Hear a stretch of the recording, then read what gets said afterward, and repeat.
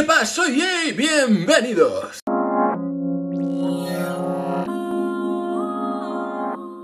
Muy buenas chicos y chicas, tal y como veis en el título del vídeo de hoy, hoy os voy a hablar de mi primer manga. La verdad es que me he marcado un pequeño clickbait que no creo que surta mucho efecto, pero ahí lo dejo. Obviamente yo tenía otros mangas que me había comprado cuando era un muchachín, como por ejemplo, aquí tenemos un par de ejemplares de Eden, no tenía más, esto es lo que había respecto a esta serie. Y luego la serie manga que más me flipó, que más me marcó cuando era un niño pequeñico, fue esta, ARMS, también conocida como Project ARMS, a mí me encantó.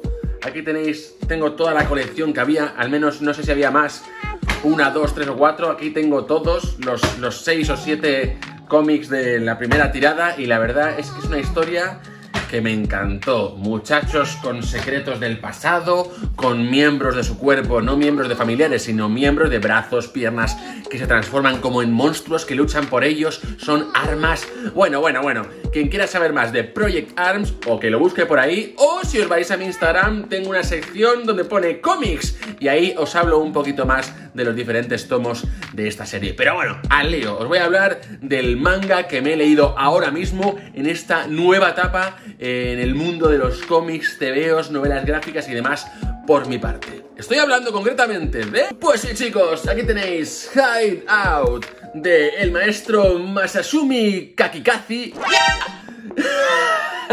Masasumi Kakizaki. ¡Bien!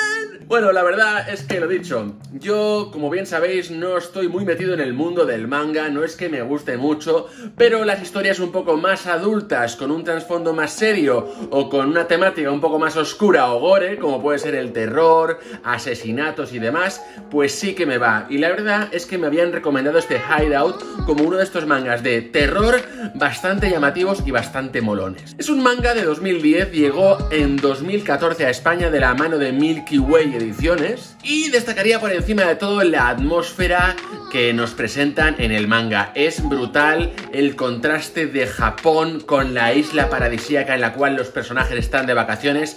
Es muy llamativo y la verdad está muy bien hecho. La sinopsis es bastante directa y si no te gusta ya es complicado que te atrape, pero a mí la verdad es que me atrapó bastante. El contexto, sinopsis o historia de este hideout es que nuestro protagonista, es decir, Seiichi, que es como se llama, pues es un escritor frustrado, ha tenido movidas en su vida personal, no tiene inspiración para seguir escribiendo novelas, entonces decide irse con su mujer a una isla paradisíaca en busca de inspiración. Eso es el concepto que se explica, pero Ni mucho menos, muchachos. La idea principal de este viaje es que Seiichi asesine a su mujer. ¿Por qué?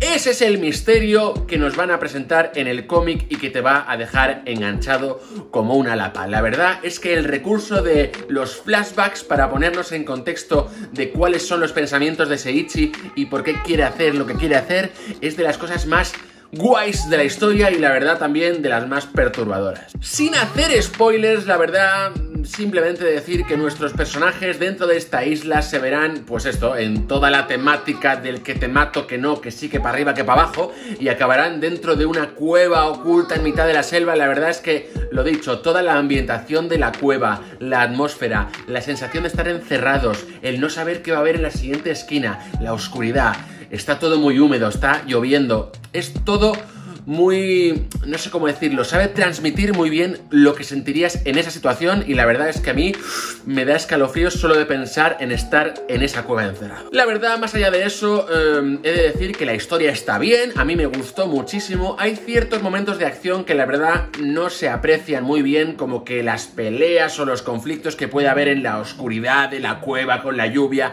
los movimientos, hay momentos en que no te enteras realmente casi lo que estás viendo en pantalla o a lo mejor en pantalla, en página, o a lo mejor es porque yo no estoy acostumbrado a leer tanto manga, pero bueno, la verdad es que se sobreentiende bastante bien y no altera mucho, digamos, la sensación que te queda una vez leída la obra. Y tampoco me quiero liar mucho, he de decir que el final está muy bien, la verdad es que le han dado una vuelta de tuerca más de lo que yo podía pensar, porque si piensas al final una historia de terror, de un asesino, que no, que alguien escapa, suelen terminar siempre de la misma manera y el toque diferente e incluso un poco más oscuro y siniestro que le han dado al desenlace de este Hideout para mí ha hecho que sea una obra que para empezar de nuevo un poquito en el mundo del manga, no es que me vaya a tirar por ahí porque no me va, pero alguno caerá, pues ha sido muy buena. Así que nada chicos, ahora que ya sabéis lo que pienso sobre Hideout y tú, concretamente tú, ¿qué opinas?